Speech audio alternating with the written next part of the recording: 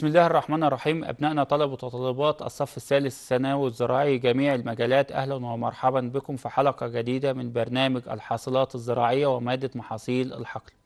في الحلقات السابقة إحنا اتكلمنا مع بعض عن التكثيف الزراعي والتحميل ومحاور وأهم المحاور الرئيسية للتكثيف الزراعي والتحميل وعرفنا مشاكل مع تحميل المحاصيل وصور التحميل المختلفة. النهاردة هنتكلم عن موضوع اسمه الدورات الزراعية وقلنا هنعرف ونوهنا عليها في الحلقات السابقة إن إحنا هنعرف إيه هي الدورة الزراعية. تعال نفكر مع بعض. إحنا لما أكون أنا شاب رياضي بحب الرياضة ودخل علينا شهر رمضان الكريم ببص ألاقي زملائي يقول لك يلا نعمل دورة رمضانية. يعني إيه دورة رمضانية؟ هنلعب كرة مع بعض هيتوفر عندي الملعب الملعب ده اللي هو الأرض الفرق عندي اتوفرت كل فريق دفع الاشتراك بتاعه الاشتراك ده هنمثله في صورة المحاصيل بتاعتي وهنلاعب إيه بعض. إحنا لما ننزل في قطعة الأرض هي قطعة الأرض اللي هنلاعب بعض عليها اللي هي الملعب. أنا اللي هي نص الملعب اليمين وأنت ليك نص الملعب الشمال. هيجي في الشوط التاني إيه اللي هيحصل؟ هيحصل تبادل بين الفريقين. أصبح الملعب بتاعي اليمين وأنت ملعبك إيه؟ الشمال. صح؟ هي دي الدورة إيه؟ اللي إحنا بنلعب بيها دورة كرة القدم. أنا عايزك تاخد الكلام اللي أنا قلته ده اللي منطبق على الدورة الرياضية وطبقه على تعريف الدورة الزراعية اللي هو نظام بموجبه يتم تعاقب وتبادل المحاصيل الزراعية في قطعة أرض معينة لفترة زمنية إيه معينة. والمحصول الرئيسي هنا هيشغل قسم كامل من أقسام إيه الدورة اللي هو اللي هياخد إيه الكاس معانا. هنبدأ مع بعض نشوف التعريفات ديت ونشوف الشغل بتاع الدورة الزراعية معانا مع بعض. تعريف الدورة الزراعية ومدة الدورة وفوائد الدورة هنتكلم عنها إيه النهاردة. وأضرار عدم اتباع الدورة الزراعية والعوامل التي يتوقف عليها تصميم الدورة الزراعية إيه هو؟ هناخدها إيه مع بعض وهنتكلم عنها. الدورة إيه الزراعية التعريف إيه بتاعها؟ تعريف الدورة الزراعية أو يقصد بالدورة الزراعية النظام الذي تتعاقب بموجبه زراعة محاصيل معينة فرق كورة في مساحة محددة أدي الملعب من الأرض خلال فترة زمنية اللي هي ال 45 دقيقة اللي أنت هتلعب فيها إيه الشوط أو الساعة ونص اللي أنت هتلعب فيها إيه المباراة. يبقى تعريف الدورة الزراعية تاني يقصد بالدورة الزراعية النظام الذي تتعاقب بموجبة زراعة محاصيل معينة في مساحة محددة من الأرض خلال فترة زمنية إيه محددة. زي حضراتكم ما شايفين الصورة اللي تحت ديت بتعبر إن المحاصيل هيحصل إيه ليها تبادل في قطعة إيه الأرض ديت حاصل إيه هيلف ده هيجي مكان ده وده هيجي مكان ده خلال المدة إيه بتاعتها. مدة الدورة إيه هي مدة الدورة بقى؟ إحنا مش قلنا مدة المباراة عندنا ساعة ونص أو مدة الشوط 45 دقيقة هي دي مدة إيه الدورة بتاعتنا. يبقى مدة الدورة عندي في الدورة الزراعية هي عدد السنوات التي تنقضي بين زراعة محاصيل الدورة في حقول الدورة وإعادة زراعة تلك هذه المحاصيل في نفس إيه الحقول. يعني أنا عامل دورة ثلاثية إن المحصول ده هيتكرر زراعته هنا كل ثلاث سنين يبقى كل ثلاث سنين هيعاد إيه؟ زراعته. دي اسمها مدة إيه؟ الدورة. يبقى تعريف مدة الدورة تاني؟ هي عدد السنوات التي تنقضي بين زراعة محاصيل الدورة في حقول الدورة وإعادة زراعة تلك المحاصيل في نفس الحقول. زي حضراتكم ما شايفين. بصوا معايا في الصورة اللي تحت كده بتوضح لك. أدي دول ثلاث محاصيل هيلفوا أدي قطعة أرض فاضية. أول ما كل واحد ياخد مكانه ياخد مكانه يبدل المكان ده ومكان ده ومكان ده لمدة الثلاث سنين ويوصل للمكان الفاضي ده يبقى هي دي مدة إيه؟ الدورة بتاعتي. تمام؟ كده نخش على النقطة اللي بعد كده فوائد الدورة الزراعية. إيه هي فوائد الدورة الزراعية؟ زي ما اتكلمنا عن فوائد التحميل وفوائد إيه؟ التجميع. نتكلم عن فوائد الدورة الزراعية. أي حاجة أنا بعملها ليها فايدة وبتعم عليا بال...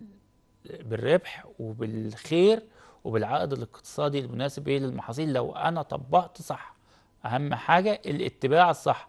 ليه؟ لأن هتلاقي في معظم كلامك أو معظم الدروس اللي أنت درستها سواء أخدتها في سنة في السنين السابقة يا الصف الأول والصف الثاني كان يقول لك اتباع دورة زراعية إيه؟ سليمة. تعالوا نشوف مع بعض فوائد الدورة الزراعية إيه؟ مقاومة الحشائش. والحشرات والأمراض النباتية. يبقى أول نقطة مقاومة الحشائش والحشرات والأمراض إيه؟ النباتية. طيب هنا بمقاومة الحشائش لو أنا في الدورة الزراعية أنا عندي أرض موبوءة بالحشائش ودخلت لها برسيم محصول علفي البرسيم ده هيحصل إيه؟ هزرع البرسيم وهيتحش معايا من أربع لخمس حشات وهاجي كل حشة هيتنمو الحشائش هحشها قبل ما تكون إيه؟ بذور. باقي البذور اللي كان موجود في الأرض هينمو مع الايه مع الحشه التانية. حشيت يبقى أنا كده إيه؟ بدأت أنظف الأرض إيه؟ من الحشائش طبعا مقاومة الحشرات إن أنا ما بزرعش محصول يكون عائل لنفس الحشرة. يعني الحشرة ساكنة عندي في الأرض وأجي أزرع لها نفس المحصول العائل بتاعها تيجي إيه؟ تكمل دورة حياتها عليه وتعمل لي مشاكل بعد كده في النظام إيه؟ البيئي. والأمراض النباتية نفس إيه؟ الشرح ونفس الكلام الخاص إيه؟ بالحشرات. المحافظة على المادة العضوية والأزوت بالتربة. أيوه طبعا الدورة الزراعية من فوائدها المحافظة على الماده العضوية. ليه؟ لأن إحنا اتفقنا واتكلمنا قبل كده ان أنا بزرع في الدورة محاصيل بقولية غير مجهدة مع محاصيل نجيليه مجهدة. يعني المحاصيل تتكون على جذورها العقد البكتيرية مع محاصيل لا تتكون عليها إيه؟ عقد بكتيرية. زي ودينا مثال زي الفول البلدي وزي البرسيم دي تتكون على جذور عقد إيه؟ بكتيرية. بيقوم بامتصاص النيتروجين الجوي وتثبيته في الأرض في صورة أزوت إيه؟ جوي. ولكن المحاصيل النجيليه بتستهلك الأزوت ولكن لا توفر إيه؟ أزوت. النقطة اللي بعد كده حفظ التوازن بين العناصر الغذائية إيه؟ في التربة. أنا عندي المحاصيل النجيلية وخصوصا محصول الذرة الشامية ومحصول القمح شاره جدا للتسميد أو استهلاك عنصر النيتروجين والزنك. أنا لو زرعت كل سنة هزرع قمح وذرة ذرة وقمح قمح وذرة وذرة في نفس الحتة هيحصل استنزاف للعناصر الغذائية خصوصا عنصر إيه الزنك وعنصر إيه النيتروجين فهيبدأ بعد كده الأرض تتدهور عندي ولما أزرع فيها المحصول هتطلع النباتات هزيلة وصفرة وباين عليها أعراض النقص إيه؟ ليه للعناصر ديت. وأصبح عندي وفرة في العناصر اللي هو النبات ده المحصول ده ما بيستهلكهاش. كان عايز محصول تاني إيه؟ يستهلكها زي تراكم إيه؟ الفوسفور إيه؟ والبوتاسيوم. تخش المحاصيل البقولية إيه؟ تستهلكها. الاستفادة من العناصر الغذائية في طبقات إيه التربة؟ زي ما اتفقنا واتكلمنا قبل كده في التحميل فوائد من ضمن فوائد التحميل إن أنا أزرع محصول متعمق الجذور مع محصول سطح الجذور. المحصول السطح الجذور كان هيستهلك المادة الغذائية والعناصر الغذائية من طبقة سطح التربة العليا أما متعمق الجذور هيستهلك العناصر الغذائية أو هيتغذى العناصر الغذائية اللي هي موجودة تحت سطح إيه التربة. النقطة اللي بعد كده زيادة معدل الاستغلال الأرضي والزمني. أن أنا بزرع الأرض شتوي وصيفي وبزيد المعدل الاستغلال بتاعها بقى, بقى لأن أنا كل سنة إيه هبدأ أغير أغير وأدخل محاصيل إيه اللي هي أكثر ربحا وأشتغل إيه بها إيه في الدورة. الهروب من الإصابة بافات بعض المحاصيل عن طريق الزراعة إيه المبكرة. يعني أنا كده لو عندي بعض المحاصيل بتصاب ببعض الأفات أنا ههرب بالزراعة إيه؟ المبكرة. خصوصا حشرة إيه؟ التربس حشرة التربس ديت بتصيب لي محاصيل إيه؟ كتيرة. وحشرة المن بتصيب لي القمح في الزراعات إيه؟ المتأخرة وبتصيب لي الفول البلدي إيه؟ في الزراعات المتأخرة. ولكن أنا لما بكر شوية اذا هيتكون عنده الجزء الاقتصادي قبل ما تنزل حشرة المن وحشرة إيه؟ التربس التغلب على ظروف النمو السيئة خلال الفترات الأولى من حياة النبات. يبقى التغلب على ظروف النمو السيئة خلال الفترات الأولى من حياة النبات. النقطة اللي بعد كده منع تراكم المواد السامة التي تفرزها بعض المحاصيل بالتربة. يعني إيه؟ أنا عندي دلوقتي محصول الكرنب أو نبات الكرنب بيترك الجدر بتاعه بيترك مادة سامة هو ومحصول الكتان في, في الأرض.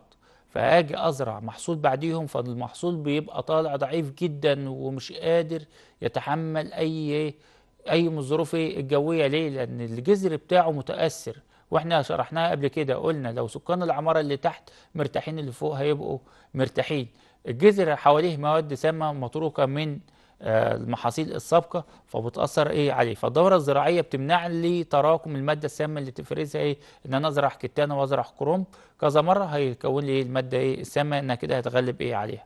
تنظيم الأعمال بالمزرعة إن أنا بدخل محاصيل بتخلص معايا أو تنتهي معايا بسرعة وبعد كده بيخش معايا محصول تاني فأنا أقدر كده أوزع إيه الأعمال المزرعية عندي طول إيه السنة بدل ما ألاقي المحاصيل الشغل عندي متراكم في وقت واحد وبعد كده الشغل عندي في بقية السنة ما فيش شغل على سبيل المثال لما نيجي نحصد قمح. فعملية حصاد القمح هتلاقي كل الناس محتاجة عمال تحصد إيه؟ قمح. ولكن أثناء خدمة المحصول في بقية الأوقات مفيش إيه؟ حصاد إيه؟ للقمح. والعماله إيه؟ قاعدة. توزيع الإيرادات على مدار السنة وعلى سنوات الدورة إن أنا طبعا عندي المحصول الرئيسي الاكثر ربحا موجود معايا في كل إيه؟ السنين متوزع على مدار إيه؟ السنين وفي كل إيه؟ الأقسام فبالتالي أنا كده بوزع الإيرادات إيه؟ بتاعتي. قلة تعرض المزارعين للخسارة. قلة تعرض المزارعين للخسارة. يعني أنا مش هخسر لأن أنا متبع إيه؟ دورة زراعية. المحاصيل اللي معايا أنا موافق عليها وبتحقق لي ربح عالي. فإذا حصل انخفاض في سعر محصول معين ممكن أخش عن طريق حاجة اسمها تعديل الدورة وأعدل الدورة بتاعتي وأسحب المحصول ده وأدخل مكانه محصول أكثر إيه ربحا. الاقتصاد في تكاليف خدمة الأرض. الاقتصاد في تكاليف خدمة إيه؟ الأرض. لأن أنا بزرع المحاصيل اللي بتخدم إيه؟ بعضها البعض. نخش بعد كده توفير مياه الري. إن أنا بوفر مياه إيه؟ الري.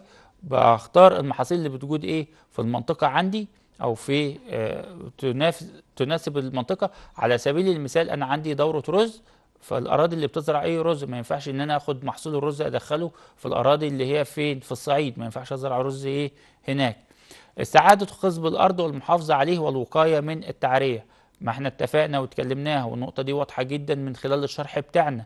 استعادة خصوبة التربة إن أنا بزرع محاصيل مجهدة مع محاصيل غير مجهدة والمحافظة عليها الوقاية من التعرية إن أنا بزرع محاصيل سطحية الجذور مع محاصيل متعمقة الجذور. المحصول سطحي الجذور بيقوم بتفتيت الحبيبات بتخليها طالعة ناعمة. لو أنا زرع قمح وحصدت قمح وقعدت احرث الأرض عندي بتطلع أرض ناعمة. ولكن لو أنا زرع فول وزرع برسيم وقعدت احرث ده محصول بقولي متعمق الجذور الأرض عندي بتطلع في صورة قلاقيل بيطلع فيها مدر إيه كتير. ليه؟ لأن المحاصيل متعمقة الجذور قامت بتجميع حبيبات إيه؟ التربة.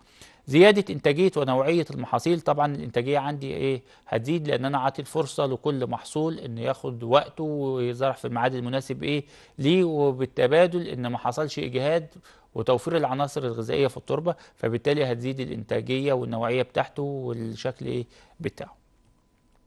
النقطة اللي بعد كده أضرار عدم اتباع الدورة الزراعية. انت لو ما اتبعتش الدورة الزراعية إيه هو الضرر اللي هيقع عليك أو هيقع على المزارع اللي هو مش هيتبع الدورة الزراعية.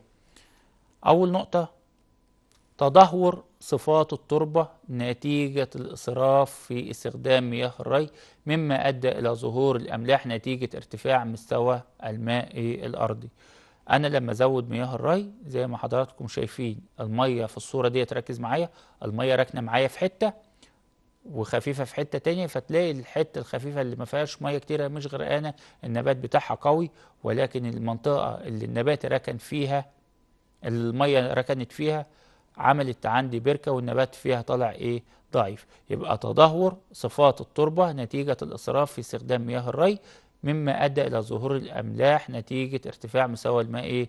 الأرضي. إن أنا برضو الناس اللي هي بتزرع رز بيبقى عندها إيه؟ بتبدأ إيه؟ تتأثر. تبديل مساحات ضخمة وذات الربحية العالية. تبديد مساحات ضخمة من الأرض الزراعية في زراعة محاصيل غير استراتيجية وذات ربحية إيه عالية. في ناس أنا عندي محاصيل مهمة ما أقدرش أطلعها بره الدورة زي القمح والقطن الذرة الشامية الفول البلدي الفول الصويا دي محاصيل رئيسية. ممكن واحد يجي داخل بنبات طبي وعطري. ليه؟ النبات الطبي والعطري ده عننا في احتياج ليه؟ بس الاحتياج مش شديد يعني. أروح اركن المحصول الاستراتيجي وازرع المحصول ده علشان خاطر يجيب لي ربحية عالية وبعد كده يعمل لي إيه؟ تدهور إيه؟ في الأرض. طيب أنا على سبيل المثال رحت زرعت فدان نعناع. هناخد مثال يعني كلنا عارفين النعناع. ده نبات طبي إيه؟ وعطري. نبات النعناع ده إذا ما لقيتش حد يشتريه عمري ما هقدر اشرب فدان نعناع. ولكن لو أنا زرعت فدان قمح هقدر أخزن القمح اللي هيطلع منه واستخدمه تاني سنة. حتى لو ما لقيتش حد إيه يشتريه. ده المقصد من إيه؟ من النقطة دي. النقطة اللي بعد كده تلوث البيئة الزراعية نتيجة نتيجة الاستخدام المفرط في المبيدات نتيجة عدم اتباع دورات لسنوات طويلة مما أدى إلى زيادة مهاجمة الحشرات والأمراض النباتية والآفات الأخرى. طبعا إحنا قلنا أنا لما بزرع بتبع دورة زراعية ما اتبعتش دورة زراعية بزرع النبات أو بزرع المحصول تكرار زراعته بيخلي الآفة الحشرية اللي هي أو العائل بتاعها أو يكون هو عائل ليها تبدأ تنتشر بكميات إيه؟ كبيرة. فأصبح المقاومة العادية أو المقاومة الحيوية غير مجدية. يعني أنا لو ما هسيبها للمفترسات الطبيعية مش هتخلصها لأن هتكون عندي بكميات إيه كبيرة فأصبحت عندي في صورة إيه وباء. فأنا بضطر أحد من الآفات ديت باستخدام المبيدات. بضطر أستخدم أكثر من مبيد. هيقول لك ليه؟ لأن أنا استخدمت المبيد ده في الرشة ديت وجيت بعد 10 أيام 15 يوم رشيت نفس المبيد. بتبدأ الحشرة تتحور وتطلع لي جيل مقاوم للمبيد. فأنا بضطر أغير المبيد. علشان خاطر ما تتحورش واقدر اقضي إيه عليها. فمع تغيير المبيد ده وكتر استخدام المبيدات بيعمل لي تلوث للبيئة الزراعية. لأنك انت مش عارف المبيد اللي هو موجود ده مدة بقائه في التربة قد إيه. لأن انت لما تمسك إزازة المبيد وتبص عليها وتقعد تشتريها بص على ثلاث حروف مكتوبين بالإنجليزي. بي اتش اي إيه هي بي اتش اي اللي هي فترة ما قبل الحصاد أو مدة بقاء المحصول إيه؟ آه مدة بقاء المبيد في التربة. في مبيد ممكن يقعد 15 يوم في مبيد يقعد لحد خمس سنين. حتى في الزراعات العضوية لما تقعد تزرع أرض عضوي علشان تطلع الأورجانيك الأصلي لابد من زراعة الأرض لمدة خمس سنوات دون استخدام المبيدات. ليه؟ لأن المبيد ممكن يقعد عندي في الأرض لمدة خمس سنوات فبالتالي تلوث البيئة الزراعية نتيجة الاستخدام المفرط في المبيدات إن أنا عايز أتخلص من الآفة ديت اللي بقت خلاص وباء عندي وأنا مش عارف ليه؟ لأن أنا ما اتبعتش دورة زراعية وكل شوية أزرع لها المحصول اللي هي بتحبه كأنك أنت عايز تاكل أكلة معينة بتحب أكلة معينة كل ما تروح البيت والدتك تقدم لك نفس الأكلة تقدم لك نفس الأكلة فبتفضل لحد ما بتزهق إيه منها وبتبدأ إيه صحتك إيه تتأخر لأنك أنت ما دخلتش بعض ال- الأكلات التانية اللي فيها بعض العناصر اللي هتفيد إيه جسمك. النقطة اللي بعد كده نقص مساحة القطن المصري طويل التيله على مدى قرن من الزمان. طيب القطن المصري أو الذهب الأبيض بتاعنا حصل له نقص في المساحة على مدى قرن من الزمان. ليه؟ إيه اللي حصل؟ حصل إن حصل تفتت في الحيازة الزراعية والناس ما بدأت الإيجارات تغلى بتاع الأراضي فبدأ الناس يتجه لزراعة المحصول اللي يجيب فلوس كتير. طيب ما محصول القطن مش هيجيب معايا إيه؟ فلوس كتير. الأول كان بيدي ربح كبير. الفلاحين زمان وكل المزارعين كان لما يحب يجوز ابنه يقول له هجوزك إيه؟ في جني القطن. كان يجني القطن من هنا ويجوز إيه؟ ابنه أو بنته من هنا أو يجهزها إيه؟ من جني القطن. فجينا طبعا لما حصل عدم اتباع دورة زراعية حصل تفتت للحيازة فكل واحد بدأ يزرع المحصول اللي على مزاجه اللي على هواه. وبدأ إهمال إيه، زراعة القطن المصري خصوصا إن القطن المصري عندي بيزرع من بداية شهر فبراير بياخد معايا من فبراير لحد أول أكتوبر أو نهاية إيه سبتمبر والجمع بتاعه إيه بيتم وأبدأ أزرع مكانه إيه المحاصيل الشتوية. فبالتالي طول الفترة ديت طول بقائه في الأرض هو محتاج فلوس تتصرف إيه عليه. النقطة اللي بعد كده عدم إمكانية تخصيص مساحات محددة من الأرض لزراعة الحبوب للاكتفاء الذاتي منها. من لا يملك قوته لا يملك حق قراره. ديت مقولة شهيرة. من لم يملك قوته لا يملك حق إيه قراره. محاصيل الحبوب من المحاصيل الاستراتيجية اللي بتعمل لي اكتفاء ذاتي. على سبيل القمح محصول القمح ده أنا هطلع منه عيش اللي أنا ه... اللي أنا هاكله. انت تقدر تستغنى عن اي حاجة بس ما تقدرش تستغنى إيه؟ عن العيش. فبالتالي أنا لما بروح اهمل زراعة محاصيل الحبوب وازرع محاصيل تانية زي اديت لك مثال من شوية اللي هو لو أنا زرعت فدان نعناع وما كانش ليه سعر مش هقدر اشرب فدان نعناع أو اتغذى على فدان نعناع ولكن القمح ممكن اخزنه ويقعد معايا للسنة التانية لأن هو محصول استراتيجي. أنا هستخدمه في البيت هعمل منه الكيك هعمل منه الخبز هعمل منه مكرونة هعمل منه صناعات إيه؟ كتير. النقطة اللي بعد كده العوامل التي يتوقف عليها تصميم الدورة الزراعية. إيه هي العوامل التي يتوقف عليها تصميم الدورة الزراعية؟ حضرتك هتصمم دورة. ه- إيه اللي أنت هتعمله فيها؟ هتتبع إيه؟ هتختار إيه؟ هتنظمها إزاي؟ يبقى إحنا هنشوف أهم العوامل وبعد كده هنتكلم عن تصميم الدورة. أول عامل معايا نوع التربة. نوع إيه؟ نوع التربة. اشمعنى نوع التربة؟ هقول لحضرتك إحنا عندنا هنا في مصر ماشي مجموعة دورات زراعية أساسية. أول دورة اللي هي دورة القطن. دورة قطن. دورة القطن المحصول الرئيسي فيها إيه؟ قطن. ولكن دي بتزرع في الأرض إيه؟ الطينية. بتطبق في الأراضي إيه؟ الطينية. والطينية إيه؟ الثقيلة. عندي دورة قصب. بتزرع ديت للمناطق اللي بتزرع إيه؟ قصب. فبالتالي نوع التربة بيتحكم برضو إيه؟ معايا. عندي دورة أرز. طبعا الأرز بيحتاج أراضي طينية ثقيلة زي شمال الدلتا. علشان كده ما تلاقيش أرز في شمال الصعيد. ليه؟ لأن برضو نوع التربة بيختلف إيه؟ معايا. عندي دورة فول سوداني. طيب دورة فول سوداني لإيه؟ دورة الفول السوداني خاصة بالأراضي إيه؟ الجديدة اللي هي الأراضي الرملية. فأنا المحصول الرئيسي هنا الأكثر ربحا فيها هيكون إيه؟ الفول السوداني. فأنا عندي دورة قطن وعندي دورة رز وعندي دورة قصب وعندي دورة إيه؟ فول سوداني. دي مجموعة الدورات اللي هي بتطبق إيه في مصر حسب طبيعة المنطقة وحسب نوع إيه؟ التربة. يعني ما ينفعش أروح أصمم دورة زراعية في أراضي مستصلحة حديثا أو أراضي جديدة أحط فيها القطن. ده خطر جدا. ده عيب من عيوب تصميم إيه؟ الدورات. أو أروح يكون عندي أرض طينية ثقيلة أدخل من ضمن محاصيل الدورة محصول فول سوداني. ده برضو إيه؟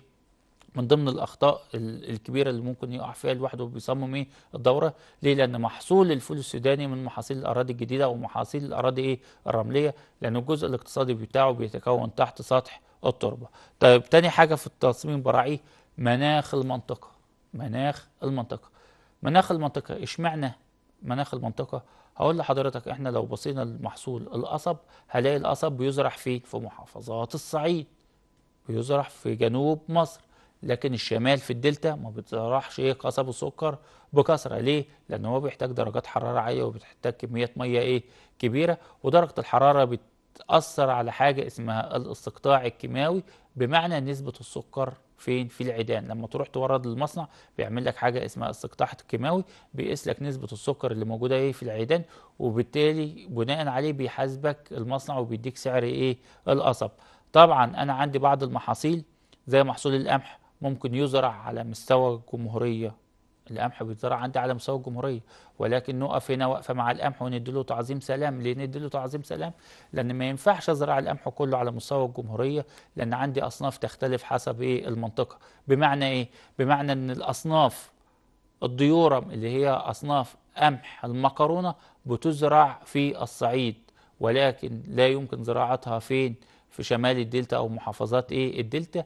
لإصابتها بأمراض الأصداء الشديدة. يعني أنا لو زرعت في بحري هيصاب بالأصداء ومش هيجيب معايا محصول. فلا بد ازرعه فين في الوجه القبلي علشان خاطر إيه؟ نسبة الرطوبة إيه؟ منخفضة فبالتالي هيجيب معايا إيه؟ محصول مع إنه هو قمح. طب ما كل المحافظات بتزرع إيه؟ قمح. ولكن أنا براعي هنا أهم الأصناف حسب مناخ إيه؟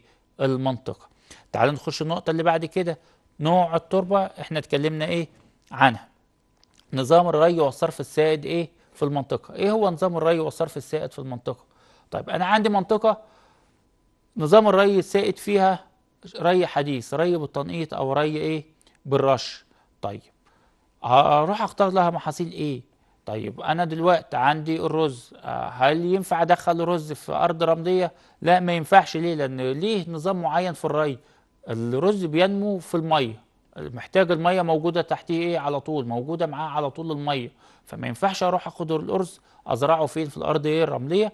هيحصل معايا كده فقد جامد جدا. فين؟ في في كمية مياه إيه؟ الري. ونظام الصرف السائد طبعا أنا لو عندي صرف مغطى أو صرف إيه مكشوف ما ينفعش حتى لو في الأراضي الطينية ما ينفعش أروح أزرع رز في أرض طينية. نظام الري الصرف فيها آسف مغطى. ليه؟ لأن الرز. بياخد كميات مية كبيرة فمحتاج صرف مكشوف أقدر أصرف بيه إيه؟ المية، فأنا لما هصرف المية هقدر أتخلص من الريم والأمراض اللي بتبقى موجودة إيه في المية، ولكن لو أنا هعمل صرف مغطى للرز إذا هنا الزواريق والمصارف المغطاة هتتسد ومش هيحصل إيه عملية صرف والأرض تبوظ إيه مني أو تطبل إيه مني تعالوا نشوف النقطة اللي بعد كده أسعار المحاصيل طبعا أسعار المحاصيل بتتحكم معايا إيه في الدورة لأن أنا بدخل المحاصيل الأكثر إيه ربحا وخصوصا المحاصيل الاستراتيجية اللي بتدخل فلوس إيه كتير علشان أقدر أوفر فلوس أصرف إيه على المزرعة. ديت إيه أسعار المحاصيل. النقطة اللي بعد كده قرب أو بعد الأسواق عن المزرعة. طبعا المزرعة اللي قريبة من السوق أقدر أزرع فيها محاصيل الخضر أو المحاصيل اللي تتحمل النقل من مكان إيه للتاني ولكن المحاصيل اللي هي لا تتحمل لا تتحمل نقل أزرعها قريبة من السوق. ولكن التي تستطيع أن تتحمل النقل والتخزين ممكن أزرعها إيه؟ بعيد. فبالتالي إيه؟ قرب المزرعة القرب والبعد إيه؟ عن الأسواق. النقطة اللي بعد كده المحاصيل الشائع زراعتها إيه؟ بالمنطقة. يعني أنا عندي مز... آه منطقة بتزرع قصب. ما ينفعش أروح أدخل لها مثلا إيه؟ محصول تاني يعتبر هناك فاكهة الناس هتاكله إيه؟ مني. أنا ممكن أزرع في المنطقة بتاعتي. لو كلها مش زارعة فول بلدي ما ينفعش أروح أدخل فول إيه بلدي. ليه؟ لأن كل اللي رايح واللي جاي هياكل لي المحصول وهو إيه أخضر. ليه؟ لأن أنا ما عنديش غير في المنطقة دي غير الأرض بتاعتي اللي فيها إيه فول بلدي. يبقى إحنا كده اتكلمنا النهارده عن الدورة الزراعية. وعن أهم خطوات تصميم الدورة الزراعية وفوائد اتباع الدورة الزراعية ونوهنا عن أهم أنواع الدورات الزراعية الموجودة عندنا هنا في جمهورية مصر العربية حسب مناخ المنطقة وحسب طبيعة الأرض. وبكده هنكون ما وصلنا مع حضراتكم لنهاية حلقتنا النهاردة. واستودعكم الله الذي لا تضيع ودائعه. والسلام عليكم ورحمة الله وبركاته.